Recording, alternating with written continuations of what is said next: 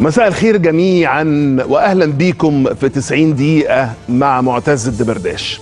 النهارده الحلقة هتبقى عبارة عن ليلة في حب الساحر الأستاذ الراحل محمود عبد العزيز.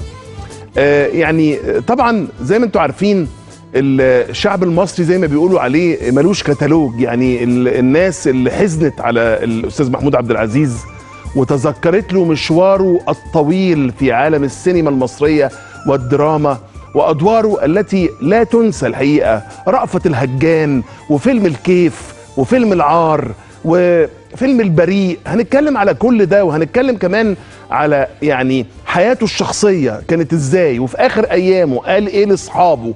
هنحاول إن إحنا النهاردة نقرب من هذا الشخص العظيم اللي ساب بصمة كبيرة في الدراما والسينما المصرية.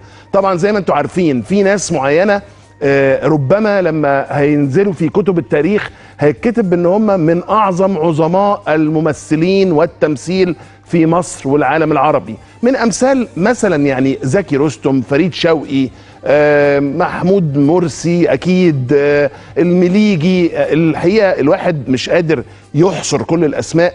بس اللي أنا عايز أقوله يعني وده بشعور نابع مني أنا شخصيا ومن آه، آه، يعني آه، يعني متابعتي لأحوال الفن في مصر إن محمود عبد العزيز اسم الحقيقة لا يقل عن كل هؤلاء.